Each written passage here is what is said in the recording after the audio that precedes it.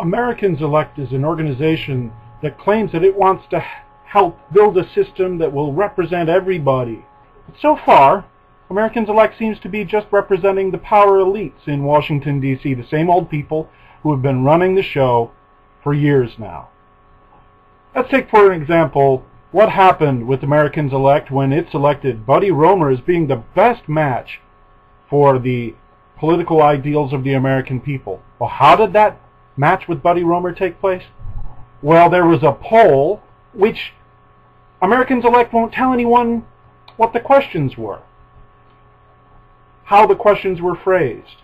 And then there was the selection of criteria from Americans Elect itself.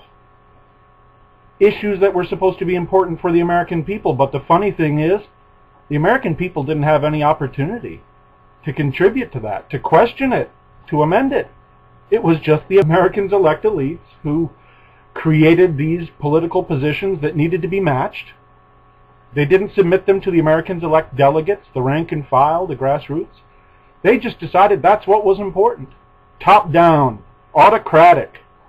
A bunch of hedge fund managers who were using money that comes from no one knows where. That's not reform. It's just another level of corruption.